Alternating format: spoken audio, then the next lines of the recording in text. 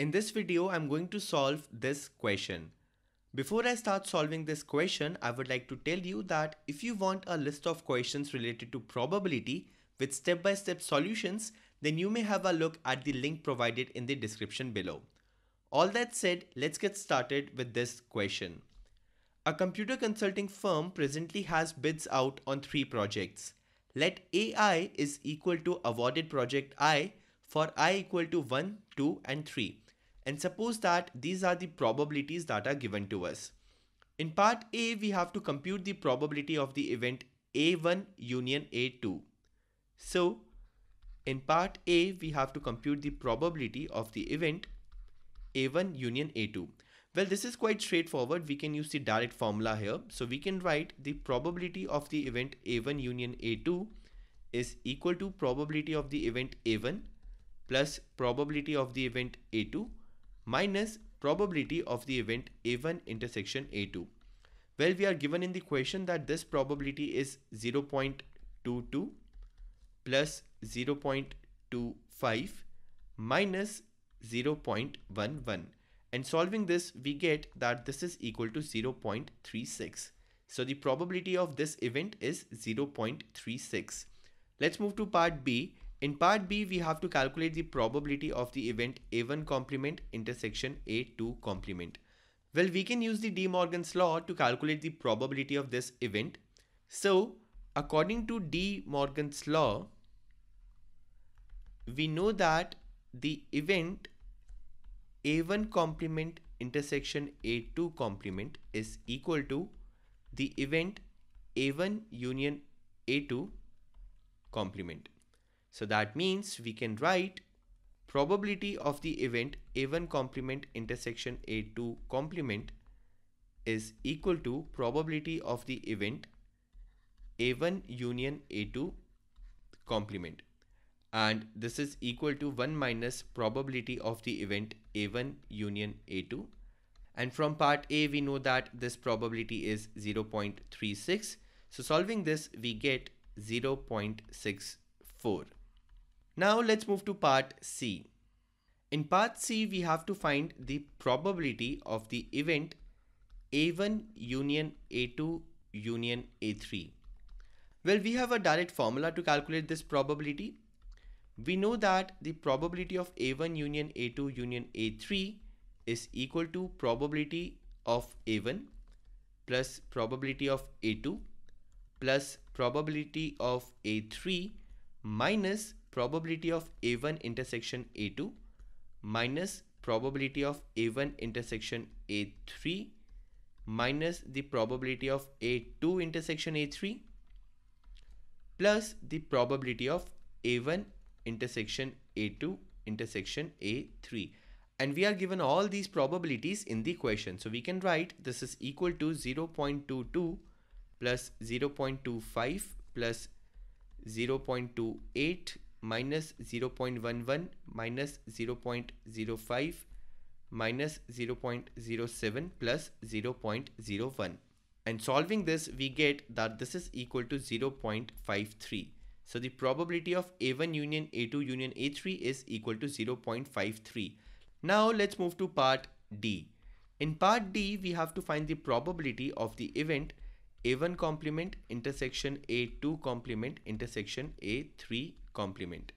Well, this part is just an extension of part B. So once again, we can use the De Morgan's law and using the De Morgan's law, we can say that the event A1 complement intersection A2 complement intersection A3 complement is equal to the event A1 union A2 union A3 complement. So that means the probability of the event a1 complement intersection A2 complement intersection A3 complement is equal to the probability of the event A1 union A2 union A3 complement and this is equal to 1 minus probability of A1 union A2 union A3. Well, from part C, we know that this probability is 0.53. So subtracting this from 1, we get 0.53. 4, 7. Let's move to part E. In part E, we have to find the probability of the event A1 complement intersection A2 complement intersection A3. Well, there is no straightforward formula to calculate the probability of this event. So to find the probability of this event, let us first represent this event in a Venn diagram and that would give us a hint about how to calculate the probability of this event. As you can see in this Venn diagram, this green shaded region is the event A1 complement intersection A2 complement. And now we have to find the intersection of this event with A3. So the intersection of this event with A3 is this region.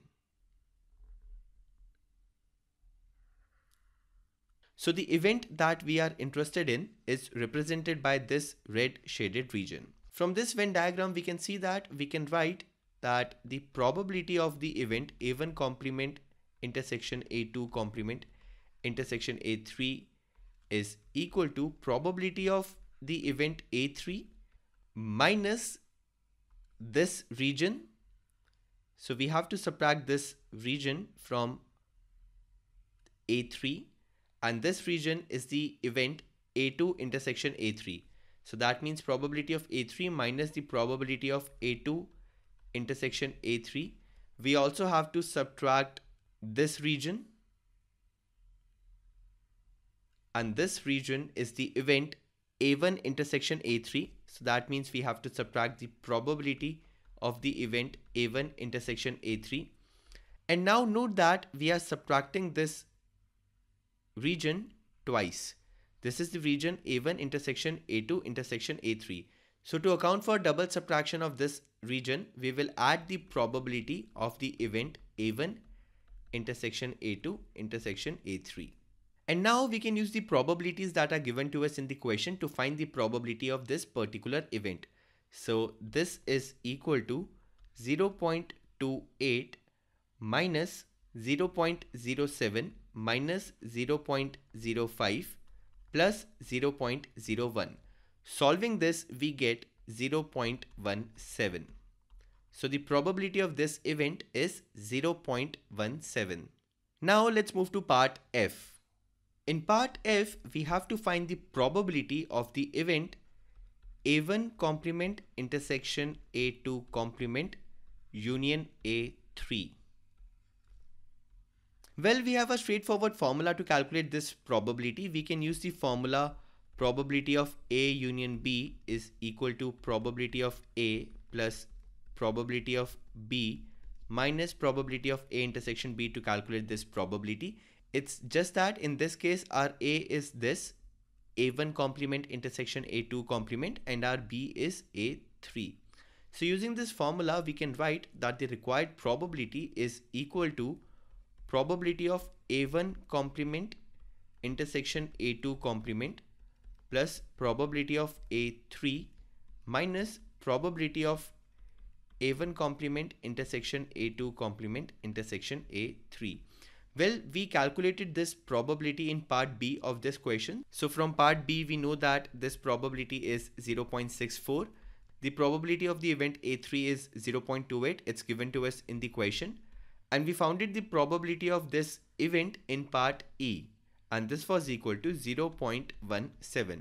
Solving this we get that this is equal to 0.75.